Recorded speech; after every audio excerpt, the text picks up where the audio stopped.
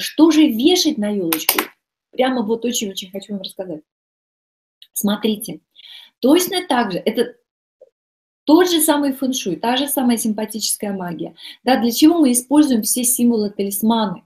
Если мы хотим любви, мы ставим сердечки на юго-запад. Если мы хотим богатства, мы ставим там деньги и так далее. То же самое, та же самая история. Если вы хотите любви, повесьте золотые сердечки. Это как раз то, что нужно иметь на елочке в этом году. Золотой цвет – это цвет денег. У вас будет богатство и, любовь одновременно. Если вы хотите эм, встретить любимого человека, пожалуйста, э, вы хотите выйти замуж, повесьте или нарисуйте обручальные кольца, повесьте приглашение на свадьбу.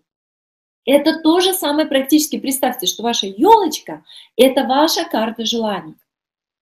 Представляете? То есть э, рисуйте, украшайте, делайте, что хотите. Вешайте э, банкноты, если вы хотите быть богатыми, конечно. Хотите быть здоровыми и счастливыми, вешайте мандаринки.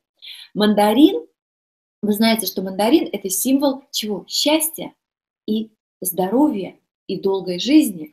То есть мандаринки, шикарно можете их облепить фольгой вместе с детьми и повесить на елочку.